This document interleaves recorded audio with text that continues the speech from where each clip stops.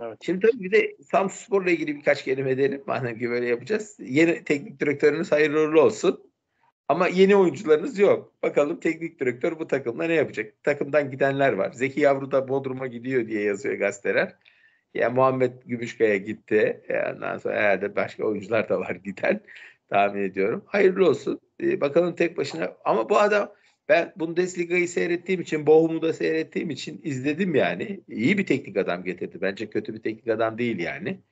Ee, eski gideni aratmaz yani bu yeni gelen Alman'da. Herhalde ekibi de kalır. Erdinç Hoca falan da kalır diye e, düşünüyorum. Ama tabii bu transfer konusu çok önemli.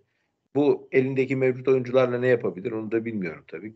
Görmek lazım. Bak görmek Ye- lazım. Şu, şu anda transfer yasağı şu an için yok ama ayın 24'ünde son liste açıklanacak. Endişeyle o bekleniyor. Yani 24'ündeki listede de transfer e, yasaklı takım listesinde olmazsa e, herhalde transferler yapılacak. Sanki bu giden oyunculara müsaade edilmesi de e, biraz e, bu konuda umutlu olduğu, yönetimin umutlu olduğu biçiminde yorumlanıyor.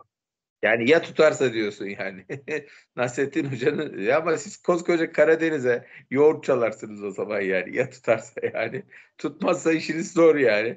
Yeni gelen teknik adamın da işi zor tabii. Mevcutlarla, altyapıdan gelenlerle bir takım çıkarmak. Allah- Ee, Al, ben- Al- Alman, Alman, Alman yoğurt çalmaz da bira mı çalar onu bilemeyeceğim artık ama yani iş zor yani.